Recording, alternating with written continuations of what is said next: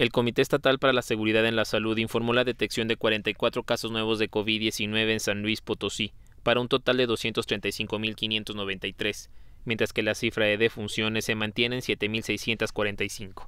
Los casos identificados se concentraron en la jurisdicción número 1 con 40 en la capital potosina y 3 en Soledad de Graciano Sánchez, así como el caso de una persona que reside en Ciudad Valles de la zona 5.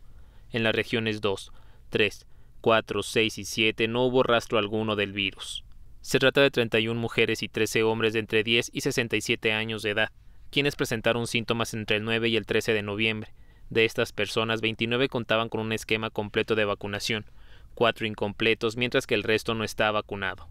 En ese sentido, se informó que son dos personas las que se encuentran hospitalizadas, una en situación estable y otra que permanece intubada.